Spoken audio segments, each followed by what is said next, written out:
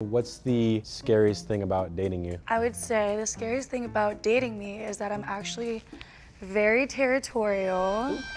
I like to have what's mine. I don't like sharing. And I would probably force you to swallow an air tag.